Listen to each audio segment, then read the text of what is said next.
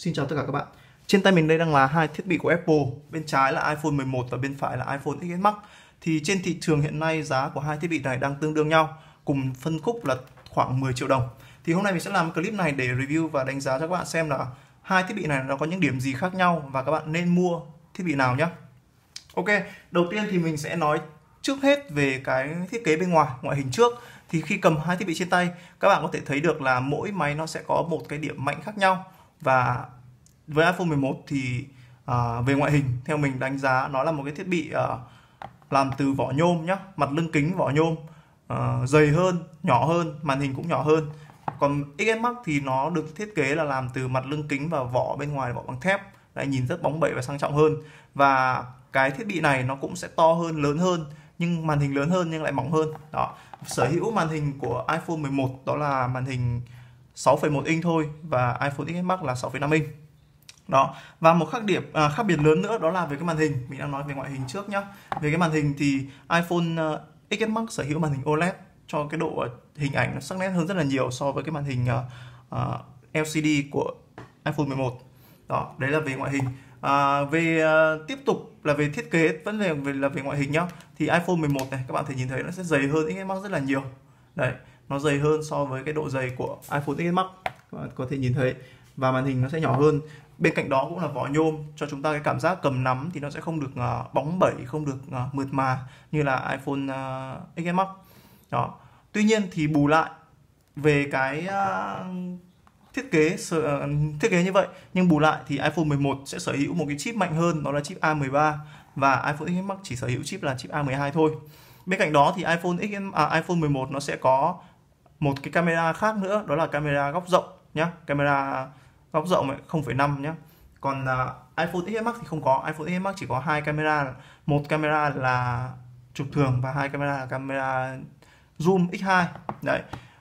Uhm, tuy iPhone 11 cũng có hai camera như XS Max nhưng nó đã thay camera thứ hai này bằng camera góc rộng chứ không phải là camera zoom nữa mà chúng ta vẫn có thể zoom được bằng camera uh, số 1 đấy đấy là cái điểm mà đáng giá về iPhone 11 và theo mình đánh giá thì đối với mình sử dụng ấy đây là hai cái thiết bị mà mình đang sử dụng song song và nó đủ đáp ứng toàn bộ nhu cầu mà chúng ta đang sử dụng hàng ngày. Từ uh, nhu cầu chơi game hay uh, lướt web đọc báo vân vân. Thì đối với mình thì hai thiết bị này đang cấu hình tương đương nhau. Uh, tuy chip xử lý là A13 cho iPhone 11 và A12 cho iPhone ờ, uh, XS Max tuy nhiên thì cái độ chênh lệch độ trễ nó cũng không đáng kể lắm. Khi mở bất kỳ một ứng dụng nào nó cũng rất là nhanh và mượt không có độ trễ.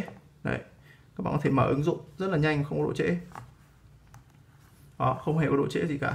Tất cả đều tương đương tương đương nhau. Và theo mình đánh giá thì đây là một cái uh, không chênh lệch nhiều so với với với uh, vẻ ngoài của nó. Tuy nhiên thì đối với iPhone 11 ấy, đối với bạn nào mà muốn mua một cái thiết bị mà nó có thể được dùng lâu dài hơn được hỗ trợ được Apple hỗ trợ nhiều hơn và uh, nó sẽ bền bỉ hơn ấy. Thì các bạn nên mua iPhone 11 iPhone 11 thì nó sẽ cho chúng ta được cái thời gian dài hơn vì nó là iPhone ra sau một năm. Thứ hai nó sẽ sử dụng cái chip A13 nó sẽ mạnh hơn cái chip A12 sau này khi Apple đã phát triển ờ, nhiều hơn này những ứng dụng nặng hơn nặng hơn thì chip A13 nó sẽ thể hiện cái sự thay đổi đáng đáng kể rõ rệt.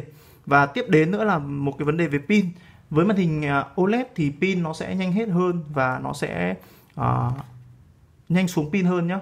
Vì màn hình OLED nó phải tốn rất là nhiều nhiên liệu và hiển thị rất là đẹp. Cho nên là XS Max nó sẽ bị nhanh hết pin hơn so với iPhone 11 iPhone 11 thì màn hình chỉ là LCD thôi. Tuy nhiên theo mình đánh giá thì hình ảnh hiển thị của hai thiết bị này nó cũng sẽ tương đương nhau không có gì à, khác biệt nhiều quá.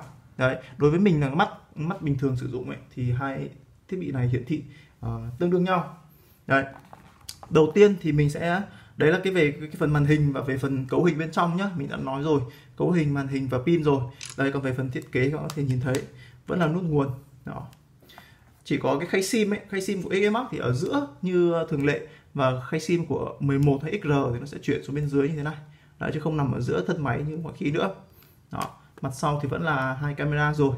Đấy, như trước đèn flash thì lớn hơn mic thu âm cũng lớn hơn camera cũng lớn hơn và tốt hơn.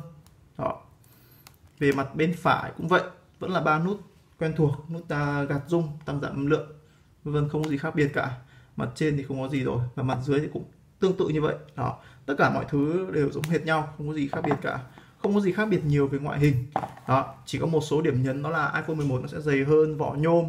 Đó, và hai mắt hai camera sau. Hai camera sau thì mình đánh giá rồi nó tác dụng hơn rất là nhiều.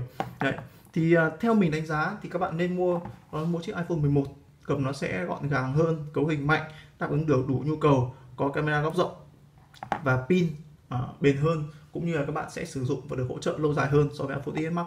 Đây là cái đánh giá cá nhân của mình. Ok à, cảm ơn các bạn đã quan tâm clip, clip của mình. Các bạn có thể vào trong playlist của mình để tham khảo thêm các clip tiếp theo. Chào các bạn.